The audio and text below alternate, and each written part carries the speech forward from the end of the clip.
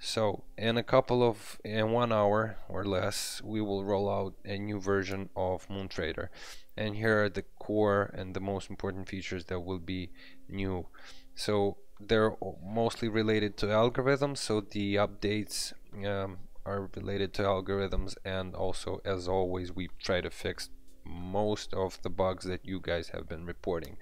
So feature number one that has changed now when you select a new algorithm you see shots group. You select it. It's the same panel that you're used to as you've seen before but this time around what you can do is you can insert here a list of uh, trading pairs a whole list. So let's say you create a new group let's do it uh, better. Let's do it like this the long way. So you go to market info you select futures you click on refresh wait for it to update and I will um, I will sort them by the hourly delta. Okay OMG SOL and CRV let's try to remember these ones I'll just open them up SOL and CRV looks good. Decent. And these guys. Okay. So what I'm gonna do now first of all I'm gonna stop all of my current algorithms.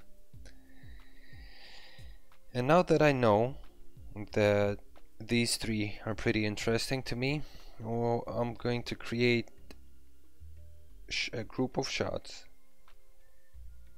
And I'm gonna call it uh, let's say long group. Futures. It's Binance futures.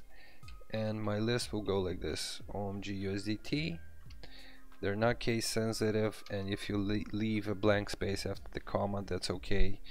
Uh, the program knows to trim the white space so SOL USDT and CRV USDT right so let's say that I know for a fact that I want to use the same parameters for all of these three so I'm gonna put a distance of 0.7 uh, no I'm going to put a distance of 5% and I'm gonna leave a buffer of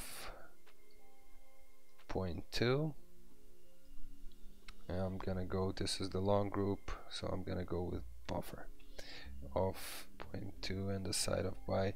Now the next thing that's gonna be new in the up um, the updated version is the minimum and the maximum delta H so these two parameters will determine whether or not your shots will work and the way it's it, it is pretty self-explanatory so the algorithm will take a look at the minimum delta H and the maximum delta H that you set.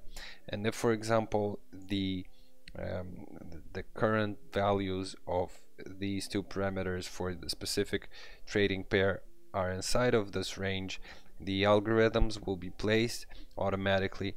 And the moment that one of these parameters is not met so either it exceeds to go higher than so the um, delta H will go above the maximum delta H that you allowed which means that the volatil volatility is going to increase more than you were expecting it. And allegedly let's assume that you do not want to be taking part in in in this kind of a volatility. You want to uh, make sure that you're on the safe side. You want to minimize your risk.